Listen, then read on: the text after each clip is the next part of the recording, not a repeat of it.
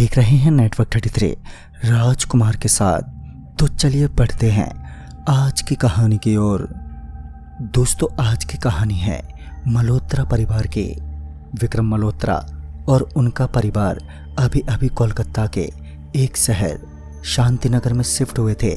उनको इस बात का बिल्कुल भी अंदाज़ा नहीं था कि यह शहर उनके लिए कितना घातक साबित होने वाला है। मल्होत्रा परिवार का अपना बिज़नेस था। साथ ही इन्हें पैसों की भी कमी नहीं थी। ये एक जॉइंट फैमिली के साथ शहर के सबसे आखिरी छोर के एक मकान में रहते थे। इस कहानी की शुरुआत सन 2016 के नवंबर के महीने में हुई, जब मल्होत्रा परिवार नया नया शहर से एकदम हटकर एक बंगले में शिफ्ट हुए थे। दरअसल वो एक गाँव खेड़ा जैसा इलाका था, जहाँ पर अंधविश्वास को मानने वालों की कमी नहीं थी। दरअसल इस परिवार के बड़े बेटे, यानी कि विक्रम मल्होत्रा के दोस्त ने इन्हें इस जगह का सुझाव दिया। वैसे घर में कोई बुराई नहीं थी, सब कुछ अच्छा ही था। उनके परिवार में दो बेटे, विक्रम और संदीप थे, और भी लोग थे जो बड़े प्यार से एक जॉइंट फैमिली में रहते थे। वैसे जहाँ मल्होत्रा परिवार रहता था, वहाँ से कुछ दायरे के आसपास तक कोई दूसरा घर, यानी कि इलाका नहीं था। इन्हें गाड़ी से ही निकलना पड़ता या कहीं बाहर जाना होता था। इन्हें यहाँ पर रहते रहते एक महीना बीत गया, पर तब इन्हें कुछ भी अजीब नहीं लगा। एक दिन शाम के समय विक्रम और संदीप के कुछ बिज़नेस कलीग्स डिनर करने आए थे। उनमें से एक विक्रम का दोस्त राजीव, जिसने उन्हें मकान दिलाया था, वो भी था। सब लोगों ने मिलकर डिनर एंजॉय किया, लेकिन राजीव उस दिन थोड़ा जल्दी में दिखाई पड़ रहा था। राजीव ने कहा अच्छा विक्रम और संदीप खाना वाकई बहुत अच्छा था और अब हमें निकलना चाहिए। इस पर विक्रम बोल पड़ा, अरे राजीव, तू इतनी जल्दी में कहाँ जा रहा है? ठहर जा थोड़ी देर। तो उसने जवाब दिया, नहीं यार, तू जानता नहीं है इस इलाके के बारे में। अगर मैं जल्दी नहीं निकला तो फिर मैं आज की रात यहीं पर रह जाऊँगा। राजीव की इस बात पर घर के लगभग सभी लोग हैरान थे। उन्होंने उससे इसकी वजह पूछी तो राजीव ने बताया कि, देखो, अभी तुम लोग इस इलाके से अनजान हो। तुम्हें शायद पता नहीं है कि ये जगह कैसी है। एक तो वैसे भी हमें 40 से 45 किलोमीटर तक का सफ़र तय करना है और देर रात का समय होगा। और ऐसे में अगर गलती से भी कुछ अनहोनी हो गई तो ना जाने हमारा क्या होगा। संदीप बोला, अनहोनी? कैसी अनहोनी? तभी राजीव बोला, अनहोनी का मतलब यह है कि कहीं गलती से भी कोई टोनी चुड़ैल या निशी डाक हमसे टकरा गई, या अगर अंधेरे में हमसे कोई गलती हो गई तो ना जाने मेरा क्या परिणाम होगा। विक्रम थोड़ा चौंका और बोला, अरे राजीव तो इतना पढ़ा लिखा हो के भी ये कैसी बेतुकी बातें कर रहा है? आखिर तू किसकी बात कर रहा है? और ये टॉनी चुड़ैल और ये निसी डाक, क्या है ये सब? इस पर राजीव सिर से पसीना पहुँचते हुए बोला, अरे मेरे दोस्त, ये बंगाल है बंगाल। यहाँ के कुछ गाँव शहरों पर निसी डाक और चुड़ैलों का राज है। और ऐसे में तू कह रहा है कि मैं आज देर रात यहीं पर रुक जाऊँ। अगर मुझसे कोई गलती हुई या शायद किसी ने कोई टोना टोटका किया हो और मैं वहाँ से गुजर गया तो तुझे पता है मेरा क्या अंजाम होगा? विक्रम उसकी बातों पर कुछ सोच रहा था कि तभी विक्रम की पत्नी कीर्ति बोली राजीव भाई आपके कहने का मतलब यह है कि इस शहर में देर रात घर से निकलना बहुत ही खतरनाक है। राजीव बोला जी बिल्कुल। ये जगह काला जादू से घिरा हुआ है। यहाँ हर कुछ दूरी पर नकारात्मक ऊर्जाएँ अपनी प्रभाव डालने को तैयार रहती हैं। अगर गलती से भी आप इत्र लगा कर निकलते हो या फिर चौराहे से गुजरते हो, तब ज़्यादातर मौक़ों पर वो बुरी शक्तियाँ आपको अपने घेरे में ले लेती हैं। नए साल के समय भूल के भी देर रात किसी की आवाज़ का जवाब ना दें और ना ही दरवाज़ा खोलें। साथ ही गले में एक तावीज़ ज़रूर बाँध रखें, जो आपको उन बुरी शक्तियों से बचाए रखे। विक्रम थोड़ा गुस्से में राजीव को बोला, बस यार, अब तुझे जो बोलना था तूने बोल लिया, अब तू जा सकता है। राजीव भी वहाँ से दबे पाँव निकल गया। वो रात जैसे तैसे कटी और अगली सुबह ब्रेकफास्ट टेबल पे कल रात वाली बात का ज़िक्र हुआ। कीर्ति थोड़ी घबराई हुई थी। कीर्ति ने कहा, विक्रम, तुम्हें नहीं लगता कि कल रात जो बात राजीव भाई ने बताई थी, हमें उस पर गौर करना चाहिए? विक्रम ने कहा, कौन सी बात? देखो ये गाँव खेड़ा है। यहाँ राय का पहाड़ बड़ी जल्दी बन जाता है। हल्का कुछ हुआ होगा तो गाँव वालों ने बात को कहाँ तक खींच दिया। असल में ऐसा कुछ नहीं होता। कीर्ति ने कहा हाँ तुम्हारी बात तो ठीक है। पर फिर भी हमें उनकी बातों को एकदम से नज़रअंदाज नहीं करना चाहिए। कुछ ना कुछ तो उनकी बातों में सच्चाई रही होगी, जो शायद हमें किसी मुसीबत से बचा ले। खैर, उस वक्त भी विक्रम और संदीप अपने ही धुन में वहाँ से निकल गए। बात तो वहीं समाप्त हो गई, पर असली खेल तो अब शुरू होना था। दरअसल विक्रम और संदीप कभी कभी लेट नाइट भी घर लौटते थे। इसी तरह एक रात जब वो दोनों शायद अपने ऑफ़िस मीटिंग से देर रात घर लौट रहे थे और जब उन्हें एक बुर्ज नाम के चौराहे से गुजरना था तो उन्होंने उस चौराहे पर जाकर जैसे ही गाड़ी घुमाई तो सामने उन्हें चार औरतें सफ़ेद साड़ी में एक हाथ में थाली लिए खड़ी दिखाई दी। संदीप और विक्रम दोनों ही इस दृश्य को देखकर दंग रह गए। उन्होंने आवाज़ देते हुए उन्हें हटने का इशारा किया, पर उनकी तरफ़ से कोई प्रतिक्रिया नहीं आई। इस पर विक्रम गाड़ी से उतरा और उन्हें चिल्लाते हुए कह रहा था कि वो गाड़ी के सामने से हट जाए और उन्हें रास्ता दे।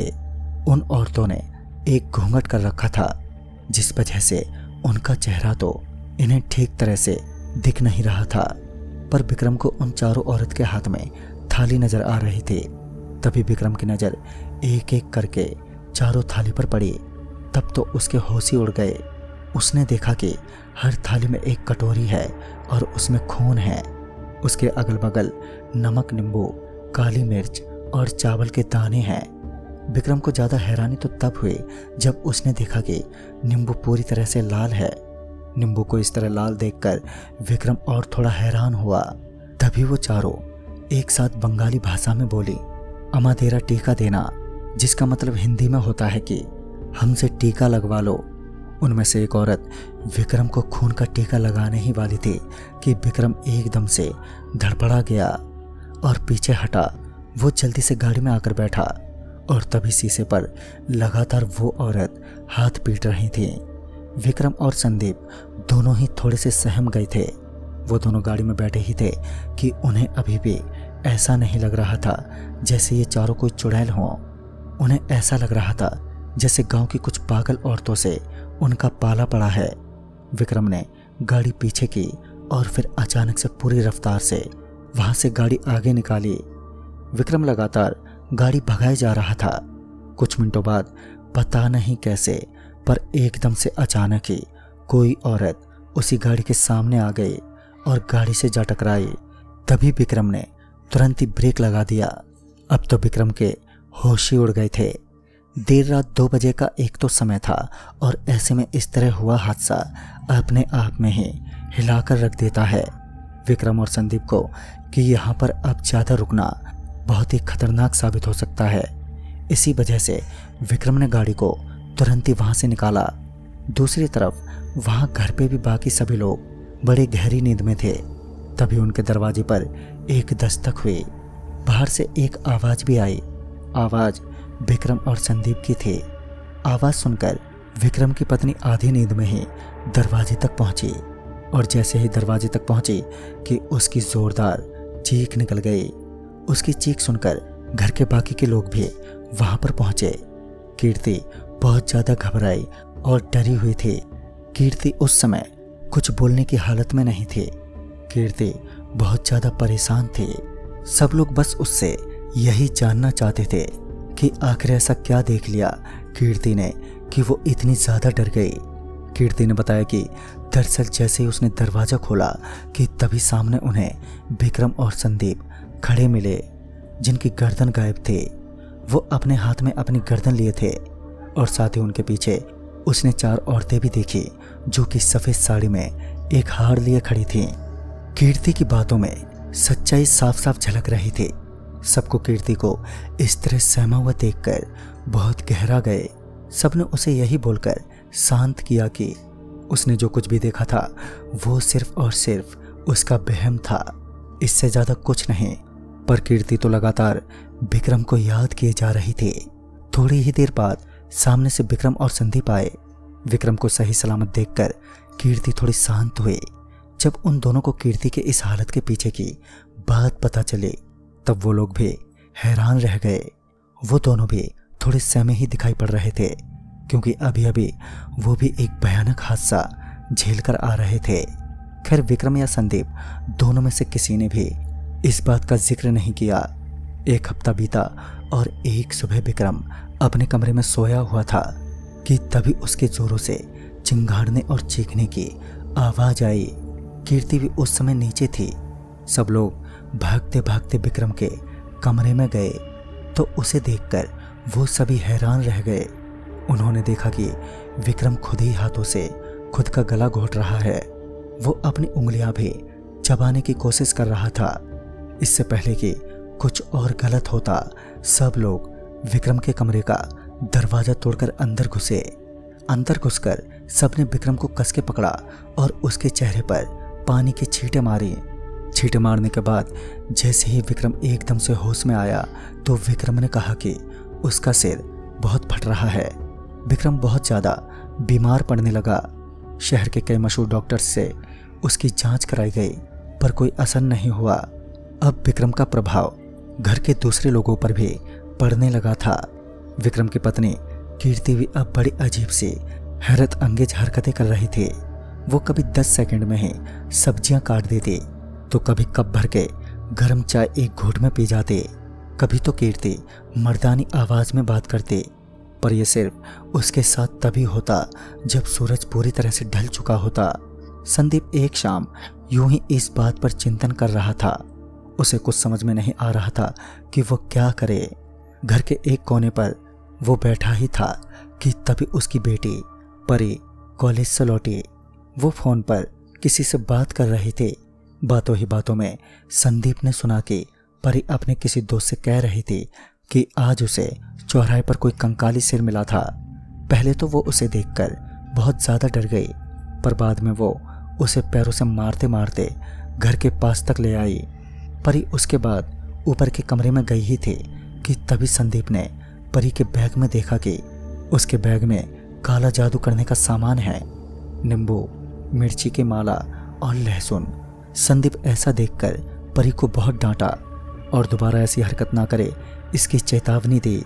पर ना तो संदीप को इस बात का अंदाज़ा था और ना ही परी को कि आखिर उसके किए गए अपराध का क्या अंजाम होने वाला है। फिर उसी रात लगभग साढ़े बारह बजे परी एकदम से छटपटाने लगी। वो गहरी नींद में थी कि तभी परी की खौफनाक चीख से सबकी नींद टूटी। इसके तुरंत बाद वो सब भागते हुए परी के कमरे में पहुँचे। तो परी एक कोने में एक अलमीरा के पीछे छुपी बैठी थी। जब उसकी माँ उसके करीब गई, तब परी डरते हुए बोली कि उसने अभी अभी अपने पैरों के पास एक अजीब सी बूढ़ी औरत को देखा है, जो उसका अंगूठा चूस रही थी। घर वालों को हैरानी तो सबसे ज़्यादा तब हुई जब उन्होंने खुद अपनी आँखों से देखा कि परी के अंगूठे में वाकई में खून निकल रहा था। अब आखिरकार आधी रात का समय था और अब इस समय क्या किया जा सकता था? पर तभी संदीप को एकदम से ख्याल आया कि इससे पहले ये परेशानी, जो पहले उसके बड़े भाई विक्रम को हुई थी, ये किसी और के गले पड़े, उससे पहले ही संदीप को अब सब कुछ सच सच बता देना चाहिए। शायद इसी में सबकी भलाई हो। और यही सोचकर संदीप ने सबसे कहा कि, आप सब मेरे साथ नीचे आइए। ऊपर परी के साथ उसकी माँ रह गई थी। संदीप ने सबको लिविंग रूम में बुलाकर सब कुछ बताया। कैलाश देवी, जो कि उस घर की सबसे बड़ी थी, उन्होंने कहा कि ज़रूर इसके पीछे काला जादू किया गया है। पिछले तीन हफ़्ते से विक्रम का लगातार इलाज चल रहा है, पर बावजूद इसके उसकी हालत में कोई सुधार नहीं है। जब दवा काम नहीं करती, तब दुआ काम करती है। इससे पहले कि अब देर हो जाए, सभी को इन दोनों को ही शंभुनाथ बाबा के द्वार लेकर जाना होगा। अगली सुबह जल्दी से ही सभी लोग उन दोनों को लेकर शंभुनाथ बाबा के द्वार गए। कैलाश देवी, जो कि उनके पहचान की थी, बाबा भी उन दोनों को ठीक करने का दावा कर रहे थे। इसके तुरंत बाद बाबा ने उन दोनों के ऊपर एक विधि करनी चाहे। उसके बाद बाबा अपने कुछ लोगों के साथ उन दोनों को लेकर अपने कमरे में गए। लगभग आधे घंटे बाद बाबा लौटे और उन्होंने कहा दरअसल विक्रम के ऊपर भी वही काला जादू किया गया है, जो कि परी के ऊपर किया गया है। दरअसल विक्रम ने कुछ औरतों के तंत्र आराधना को भंग कर दिया था। उसने उन वस्तुओं के साथ छेड़छाड़ की थी। साथ ही वो औरतें अब पूरी तरह से अपनी काली विद्या के ज़रिए विक्रम की आत्मा को उसके शरीर से अलग करना चाहती हैं। तभी संदीप बोला हाँ हाँ हाँ मुझे याद है। रास्ते के बीच में भाई साहब कुछ समय के लिए गाड़ी से उतरकर झाड़ियों की तरफ़ गए थे। जब वो वापस लौटे तब वो काफ़ी डरे हुए थे। बाबा ने कहा, यही सच्चाई है। दरअसल विक्रम, उन सभी चीज़ों का मज़ाक उड़ा रहा था, और वही उसने कुछ गलत किया, जिससे इस काला जादू का प्रभाव पड़ा। काला जादू का प्रभाव इतना खतरनाक हो सकता है कि इसका प्रभाव सिर्फ़ एक महीने में किसी भी आम से शख्स को उसके रूह से अलग कर सकती है।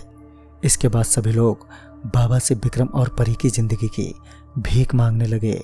बाबा ने कहा परी तो आसानी से मुक्त हो सकती है। पर विक्रम की हालत थोड़ी नाजुक है। फिर उसी शाम तक परी ठीक हो गई थी और बाबा ने उसे माला पहनने को दिया। पर अब सवाल था कि विक्रम कैसे उस काला जादू से बचेगा, क्योंकि तीन हफ़्ते तो पहले ही गुजर चुके थे। उस बाबा ने कहा, तुम लोग फ़िक्र मत करो, विक्रम को हम कुछ नहीं होने देंगे। उसके बाद लगभग एक हफ़्ते तक विक्रम के ऊपर तरह तरह के टोटके अपनाए गए। उसे रात रात भर जंजीर से बाँध कर रखा जाता और उसे खाने में नमक ही दिया जाता। एक हफ़्ते बाद एक आखिरी रात थी। बाबा ने कुछ और लोगों के साथ मिलकर विक्रम के ऊपर शुद्धिकरण वाला यज्ञ किया और भगवान की दया से विक्रम के अंदर उसकी जान वापस आ गई। विक्रम एकदम से ठीक हो गया था और अगली सुबह बाबा ने विक्रम के परिवार को बुलाया और फिर विक्रम को उसके परिवार समेत सही सलामत सौंप दिया। इस घटना के बाद विक्रम और उनका परिवार वहाँ से दूर शिफ्ट हो गए। वाकई विक्रम को उनके किए का परिणाम मिल गया था। आज भी जब विक्रम अपने साथ बीते उस घटना को याद करते हैं तो दहल उठते हैं। दोस्तों, ये कहानी आपको काला जादू के एक उदाहरण दिखाने के लिए काफ़ी है कि काला जादू किस हद तक घातक साबित हो सकता है। तो दोस्तों, इस कहानी में बस इतना ही। तब तक के लिए बाय एंड टेक केयर